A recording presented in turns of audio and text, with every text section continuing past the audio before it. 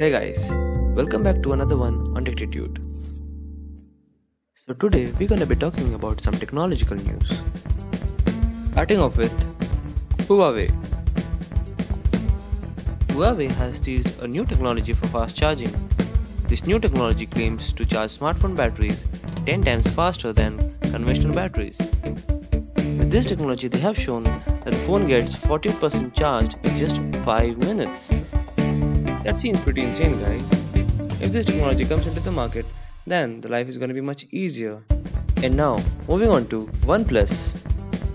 OnePlus recently launched the Sandstone White variant of the latest OnePlus 5T. That was only available in US, Canada, and China, but it seems like excitement for OnePlus fans was extremely short lived as the smartphone was sold out in about 2 hours of release.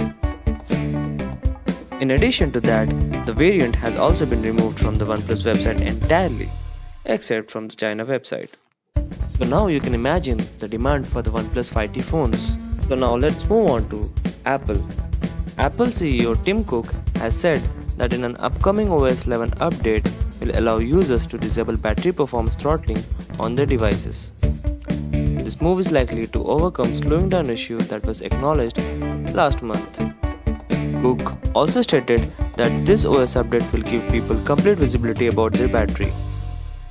He also added that they will also be able to turn off throttling, but of course, it is not recommended. This means you have options. You want battery or you want performance. The choice is in your hands. So, moving on to our hot topic of the day. Samsung has always been a step ahead in technology. The company has already started implementing the in screen fingerprint sensor technology. But that's not it.